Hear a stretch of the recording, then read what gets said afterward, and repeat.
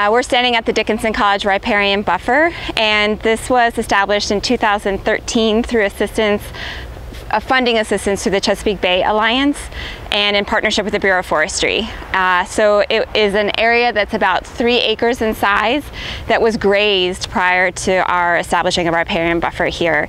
And it was overgrazed and overgrazing plus proximity to the Yellow Breeches uh, made it a perfect example of how we might reclaim and restore a stream bank um, situation with riparian buffers.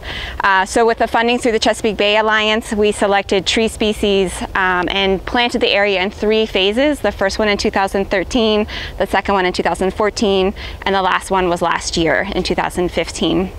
All the trees on this property are native to Pennsylvania. Some of them have anachronistic qualities, meaning that they have historical relevance um, to Pennsylvania um, and also have different attributes like edible uh, fruit, edible nuts, um, and just different uh, growth habitats. We, uh, or growth um, requirements. We worked with the arborist at Dickinson College for also for tree placement and spacing between trees and um, have been really proud of the success rate of our tree establishment. So the trees right close to me are, you know, were planted in 2013 and based on Bureau of Forestry, foresters who've come out to the farm uh, um, and out to our riparian buffer have said that they look pretty healthy.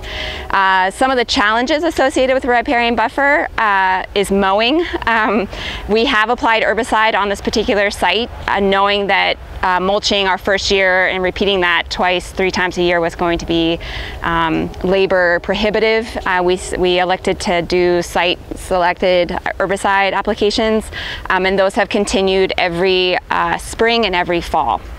And so that has helped us manage the in-row weeds and then the farm staff comes over three or four times a summer and mows in between the between the rows of trees.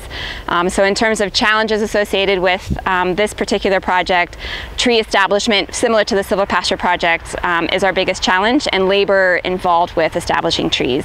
Um, in this case, it's not our cows getting in and ruining the trees, it's our mower um, getting in and killing trees by accident. Um, so some of the lessons we've learned are the, the rows are placed too close together for safe turning of tractors.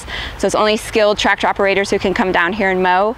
Um, so if I were to advise other people establishing a riparian buffer, I would um, advise them to have wider, wider rows. Um, we were trying to maximize the amount of trees we had in this location. And according to the Bureau of Forestry, this actually um, can be termed a forest. And so that's kind of exciting to, to know as well.